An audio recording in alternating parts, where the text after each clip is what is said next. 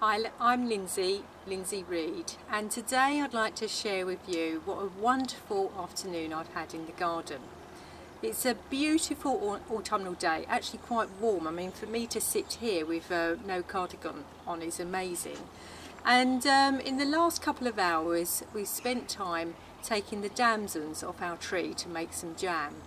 Um, I'd finished taking all the damsons off at the lower branches and left my husband to pick the ones at the top and then thought, oh, what, sh what shall I do now?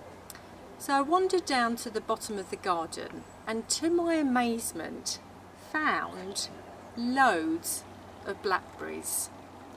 So I spent the next half an hour picking these while I was doing that, it made me think about uh, the many clients that are contacting us where they're a bit at a crossroads of their career and they don't know what to do next. And um, quite often people, when they are at a crossroads, just think about the skill sets that they do in their current job.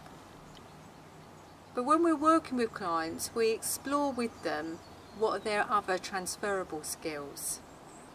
So you may like to think, well, what skills do I do at home or in hobbies or past hobbies? Perhaps think about the, what you used to like doing when you were a teenager or even when you were younger as a small child.